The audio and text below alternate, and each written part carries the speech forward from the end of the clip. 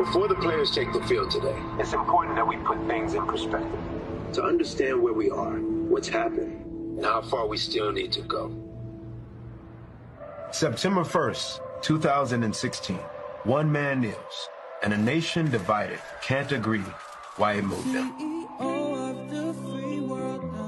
Four years later, 2020, another man kneels, and a nation outraged is newly awakened.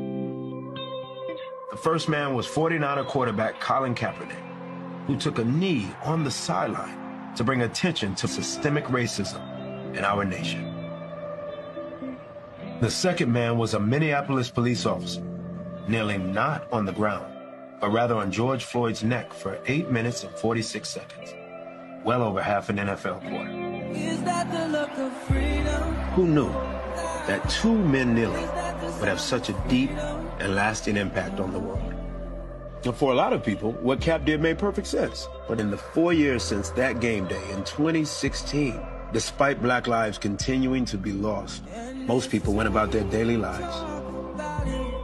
Until that second knee robbed George Floyd of his breath and caused a worldwide shockwave. Murals went up, statues came down, players used their voices, and Commissioner Roger Goodell publicly admitted he was wrong expanding a league-wide campaign on social justice. Now, if there's a silver lining here, it's this. The NFL can change.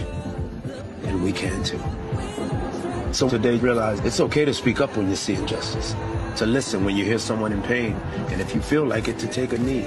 Take a knee as a symbol of hope.